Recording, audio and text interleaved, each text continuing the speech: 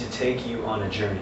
My journey to a time in my life that I have never been able to forget. We all have memories, happy, sad, and maybe even tragic. But the personal memories that I'm about to share with you are considered to be more as a permanent burn mark on my soul that I wake up with every day. This goes back roughly two and a half years. I had befriended some musician types around that time and would go out to jazz shows in the city. One particular night, there was this group called the Quartet of Happiness. Well, what I saw that night would taunt every bone in my body to embark on a never-ending quest that still will not leave me be.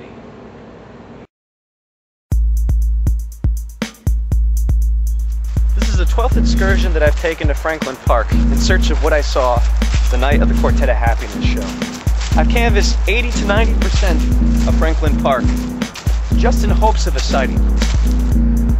Just walking, listening, not by prodding or provoking. So, what are we looking for anyway? Well, what we're looking for, this horrible, hideous creature, has a face. Oh, its face. It plays a horn that sounds like a thousand tortured souls screaming all at once. They call this creature. Uh, who calls it the monster anyway? Its keepers, the Quartet of Happiness. the Quartet of Happiness. Alright, that sounds like a crazy name, but whatever, you guys are paying me either way. I'll go along with it. It was on this 12th excursion when we first heard the screams. Hey, Professor, you mind if we take a little break here? I'm getting kind of tired out. Sure, actually, that seems appropriate. You've been carrying all that equipment around. I guess I'd be a little bit pooped, too. Alright, thanks, man. What? Did you hear that?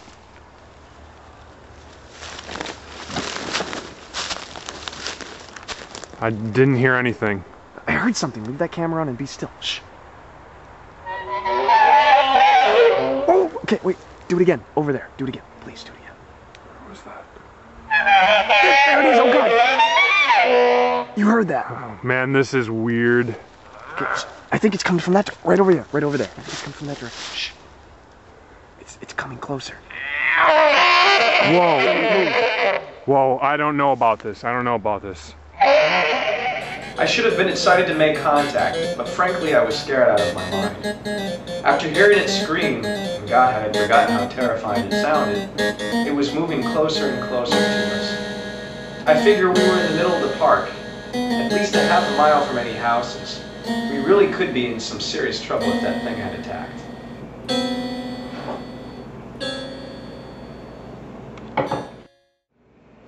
That was it. Not even a peep or any sounds of movement after the screaming. I knew the monster could sense our presence, but I wasn't sure what it would do. Thank heavens it did nothing. Although I was reluctant to return to the woods, I felt that we had built up momentum, so we returned the very next day without a change of clothes. So we're out here on our 13th trip back to Franklin Park. I hold here in my hand a CD that I hope may one day lead to a monumental event in jazz music history. I recently attended a concert that featured saxophonist George Garzone. George is the reason why I'm back here in these woods today. When I heard him play, he brought me back to that frightening moment when I first heard the monsters play. I feel that his playing somehow parallels the monster's passionate presence so vividly that I feel it's a must that I somehow get these two creatures to meet. So how do you plan on bringing the two of them together? Well, I brought along George's CD in hopes of leaving it with the monster so I can hear its kindred musical spirit. Okay, whoa, check this out. Whoa. What? What is it? It looks like the remnants of some old zoo. Look at these dilapidated structures. Wow. It's actually kind of cool. right over here. Look at this.